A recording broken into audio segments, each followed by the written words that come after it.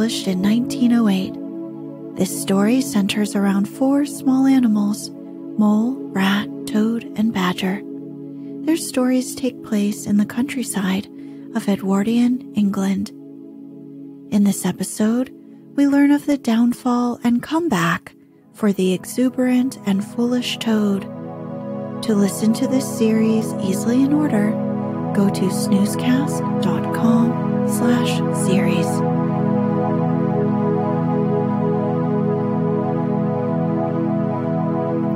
Get cozy. Close your eyes.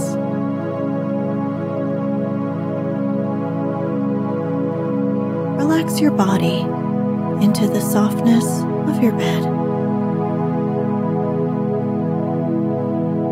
Now, take a few deep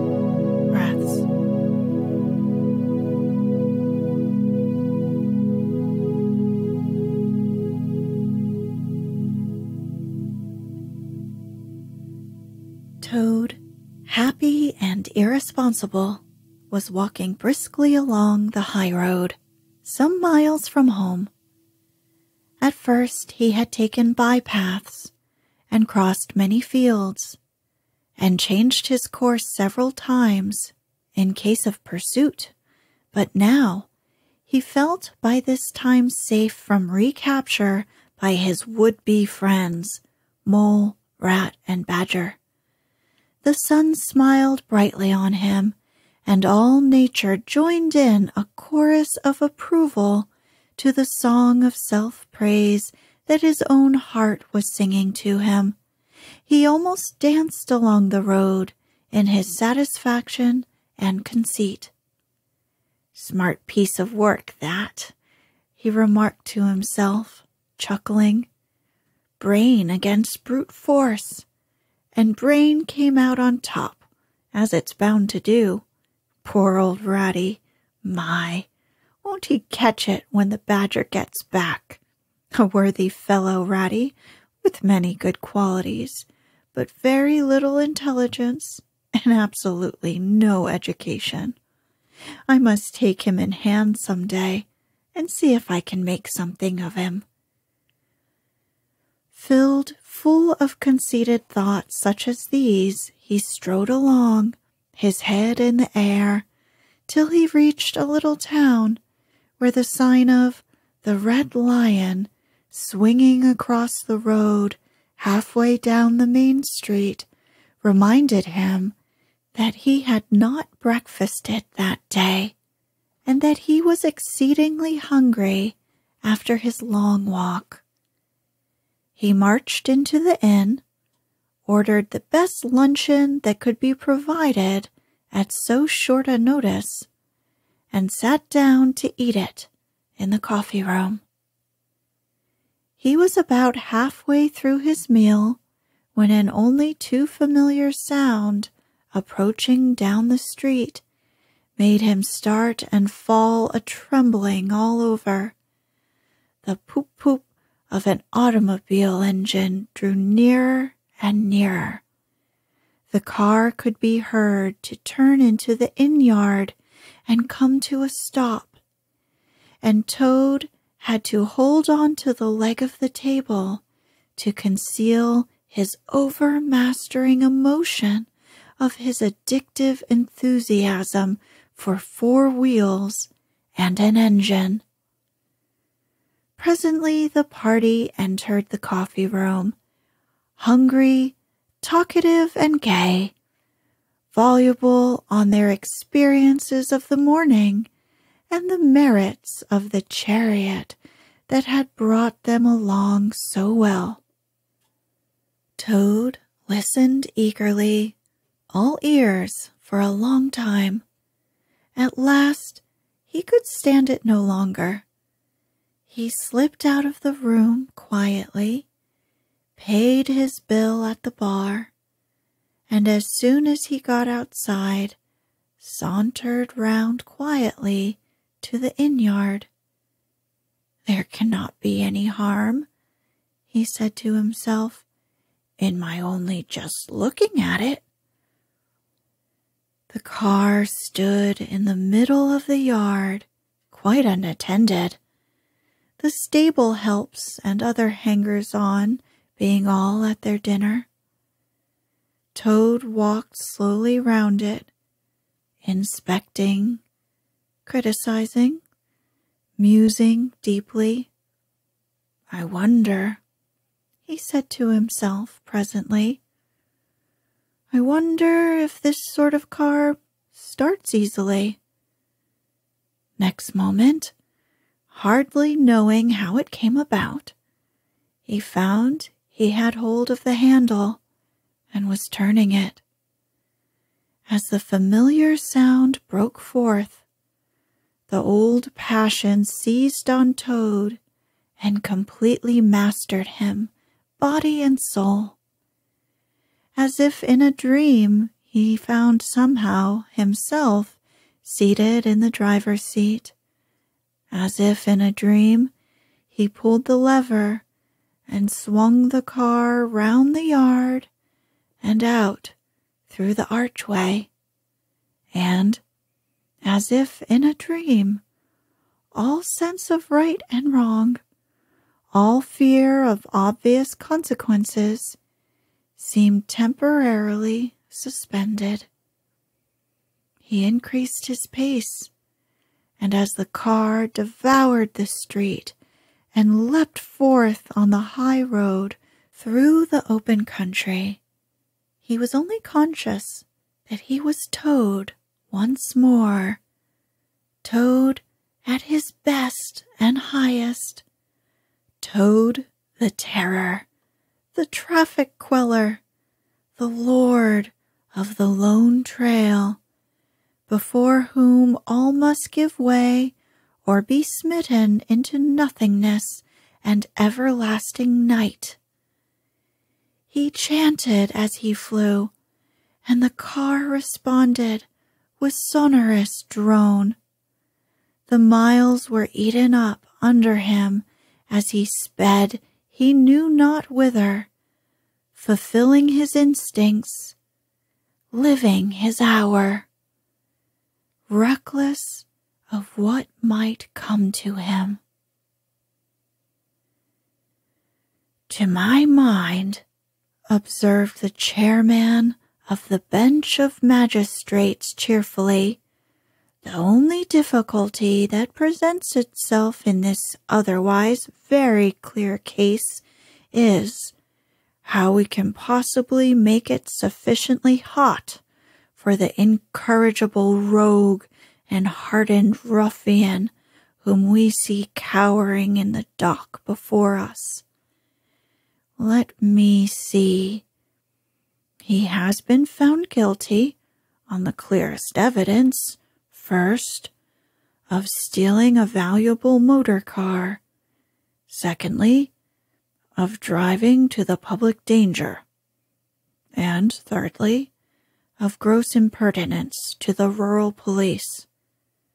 Mr. Clerk, will you tell us, please, what is the very stiffest penalty we can impose for each of these offenses, without, of course, giving the prisoner the benefit of any doubt, because there isn't any.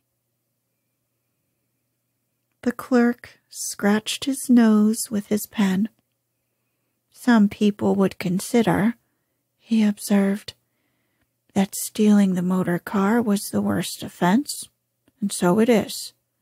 But cheeking the police undoubtedly carries the severest penalty, and so it ought. So, you had better make it around twenty years and be on the safe side, concluded the clerk. An excellent suggestion, said the chairman approvingly.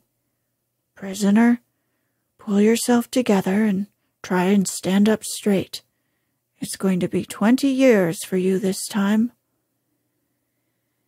Then the minions of the law fell upon the hapless toad, dragged him from the courthouse, across the hollow sounding drawbridge, under the frowning archway of the grim old castle, whose ancient towers soared high overhead, past guard rooms full of grinning soldiery off duty, up time worn winding stairs, till they reached the door of the grimmest dungeon that lay in the heart of the innermost keep.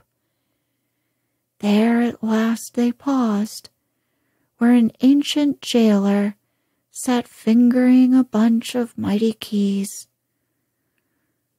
Odds bodikins, said the sergeant of police, taking off his helmet and wiping his forehead.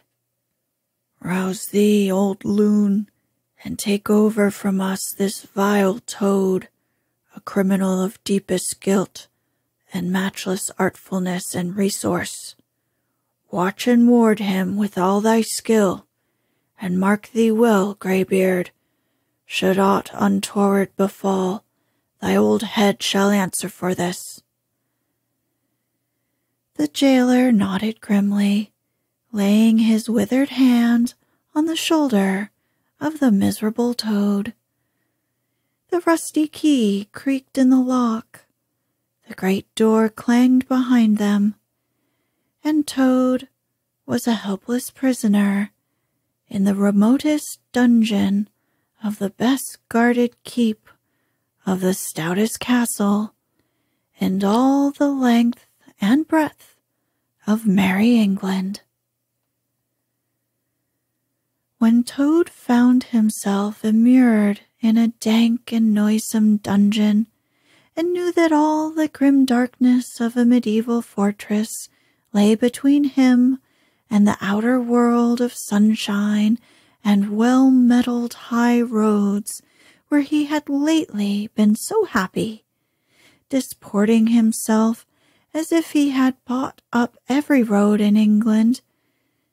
He flung himself at full length on the floor and shed bitter tears and abandoned himself to dark despair. This is the end of everything, he said, who have been imprisoned so justly for stealing so handsome a motor car in such an audacious manner, and for such lurid and imaginative cheek bestowed upon such a number of fat, red-faced policemen. Here his sobs choked him. Stupid animal that I was, he said. Oh, wise old badger, he said. Oh, clever, intelligent rat and sensible mole. What sound judgments, what a knowledge of men and matters you possess. Oh, unhappy and forsaken toad! With lamentations such as these, he passed days and nights for several weeks, refusing his meals or intermediate light refreshments, though the grim and ancient jailer, knowing that Toad's pockets were well lined, frequently pointed out that many comforts, and indeed luxuries, could be arranged and be sent at a price from outside. Now, the jailer had a daughter, a pleasant wench and good hearted, who assisted her father in the lighter duties of his post. She was particularly fond of animals, and, besides her canary, whose cage hung on a nail in the massive wall of the keep by day, to the great annoyance of prisoners who relished an after dinner nap, and was shrouded in a cloth on the parlor table at night. she kept several piebald mice and a restless revolving squirrel. This kind hearted girl, pitying the misery of Toad, said to her father one day, Father, I can't bear to see that poor beast so unhappy and getting so thin. You let me have the managing of him. You know how fond of animals I am. I'll make him eat from my hand and sit up and do all sorts of things. Her father replied that she could do what she liked with him.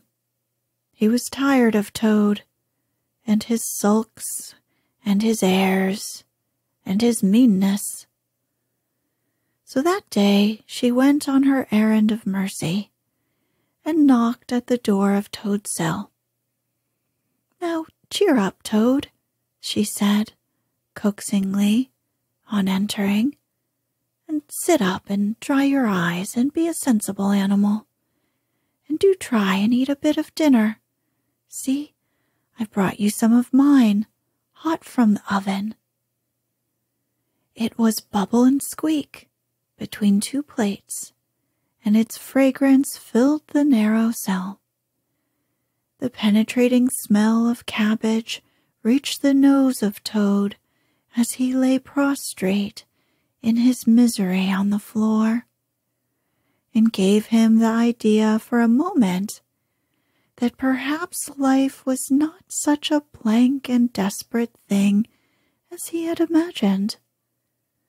But still he wailed and kicked with his legs and refused to be comforted.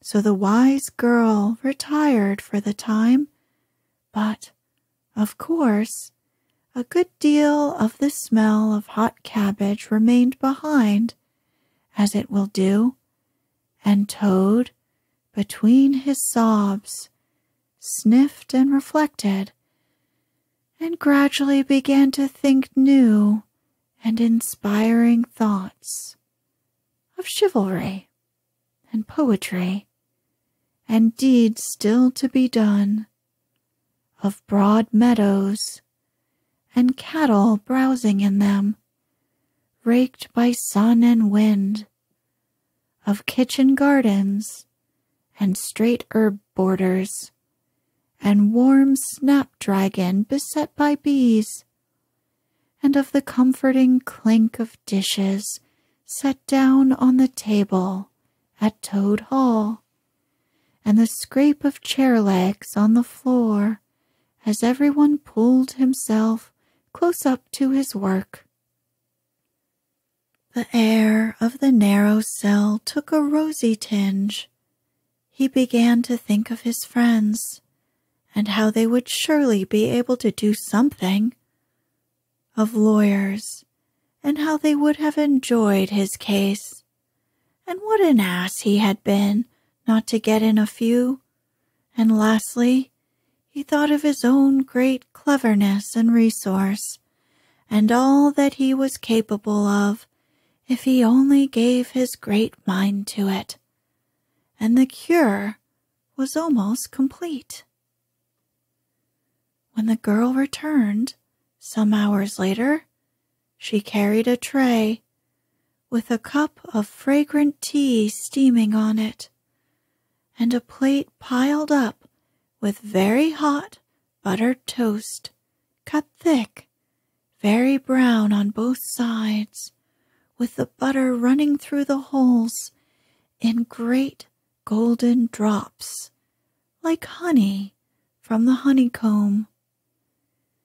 The smell of that buttered toast simply talked to Toad, and with no uncertain voice talked of warm kitchens of breakfasts on bright frosty mornings, of cozy parlor firesides on winter evenings, when one's ramble was over and slippered feet were propped on the fender, of the purring of contented cats and the twitter of sleepy canaries. Toad sat up on end once more dried his eyes, sipped his tea, and munched his toast, and soon began talking freely about himself and the house he lived in, and his doings there, and how important he was, and what a lot his friends thought of him. The jailer's daughter saw that the topic was doing him as much good as the tea, as indeed it was, and encouraged him to go on. Tell me about Toad Hall, said she. It sounds beautiful.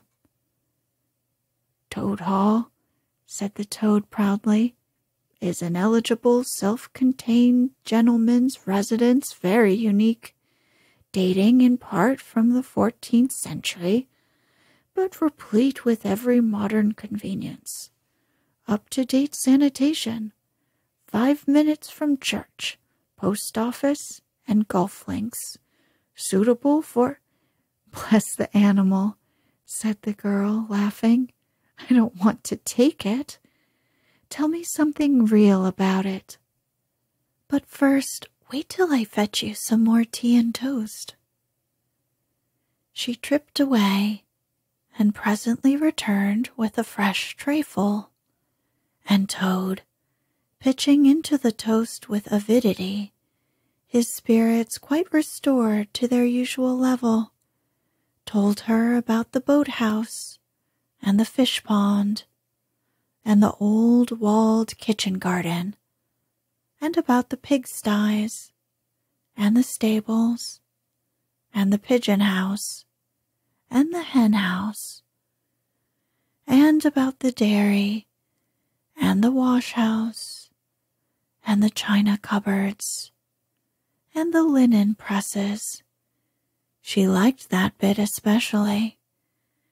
And about the banqueting hall. And the fun they had there when the other animals were gathered round the table and Toad was at his best, singing songs, telling stories, carrying on generally. Then she wanted to know about his animal friends and was very interested in all he had to tell her about them and how they lived and what they did to pass their time. Of course, she did not say she was fond of animals as pets, because she had the sense to see that Toad would be extremely offended when she said good night, having filled his water jug and shaken up his straw for him. Toad was very much the same sanguine, self satisfied animal that he had been of old. He sang a little song or two of the sort he used to sing at his dinner parties curled himself up in the straw, and had an excellent night's rest and the pleasantest of dreams. They had many interesting talks together after that as the dreary days went on, and the jailer's daughter grew very sorry for Toad and thought it a great shame that a poor little animal should be locked up in prison for what seemed to her a very trivial offense. Toad, of course, in his vanity, thought that her interest in him proceeded from a growing tenderness, and he could not help half regretting that the social gulf between them was so very wide for she was a comely lass, and evidently admired him very much.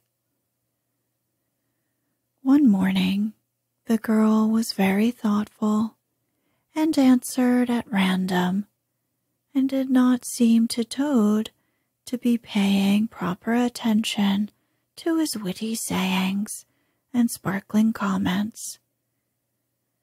Toad, she said presently, just listen, please. I have an aunt who is a washerwoman. There, there, said Toad, graciously and affably. Never mind. Think no more about it. I have several aunts who ought to be washerwomen. Do be quiet a minute, Toad, said the girl. You talk too much. That's your chief fault. And I'm trying to think, and you hurt my head. As I said, I have an aunt who is a washerwoman. She does the washing for all the prisoners in the castle. We try to keep any paying business of that sort in the family, you understand. Now, this is what occurs to me. You're very rich, at least you're always telling me so, and she's very poor. A few pounds wouldn't make any difference to you, and it would mean a lot to her. Now, I think if she were properly approached, squared, I believe is the word you animals use, you could come to some arrangement by which she would let you have her dress and bonnet and so on, and you could escape from the castle as the official washerwoman. You're very alike in many respects, particularly about the figure. Now, Toad, said the girl, take off your coat and waistcoat of yours. Shaking with laughter, she proceeded to hook and eye him into her aunt's cotton print gown, arranged the shawl with a professional fold, and tied the strings of the rusty bonnet under his chin. You're the very image of her, she giggled. Only I'm sure you never looked half so respectable in all your life before. Now, goodbye, Toad, and good luck. Go straight down the way you came up, and if anyone says anything to you, as they probably will, being but men, you can chaff back a bit, of course, but remember, you're a widow woman, quite alone in the world, with a character to lose. With a quaking heart, but as firm a footstep as he could command, Toad set forth cautiously on what seemed to be a most harebrained and hazardous undertaking. But he was soon agreeably surprised to find how easy everything was made for him, and a little humbled at the thought that both his popularity and the sex that seemed to inspire it were really another's. The washerwoman's squat figure in its familiar cotton print seemed a passport for every barred door and grim gateway. Even when he hesitated, uncertain as to the right turning to take, he found himself helped out of his difficulty by the warder at the next gate, anxious to be off to his tea summoning him to come along sharp and not keep him waiting there all night. The chaff and the humorous sallies to which he was subjected, and to which, of course, he had to provide prompt and effective reply, formed, indeed, his chief danger. For Toad was an animal with a strong sense of his own dignity. And the chaff was mostly, he thought, poor and clumsy, and the humor of the sallies entirely lacking. However, he kept his temper, though with great difficulty, suited his retorts to his company and his supposed character, and did his best not to overstep the limits of good taste.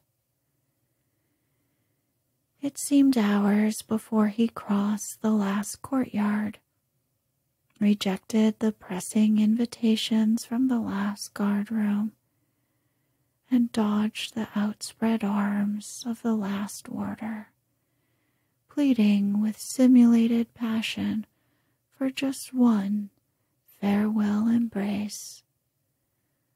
But at last he heard the wicket gate and the great outer door click behind him, felt the fresh air of the outer world upon his brow, and knew that he was free.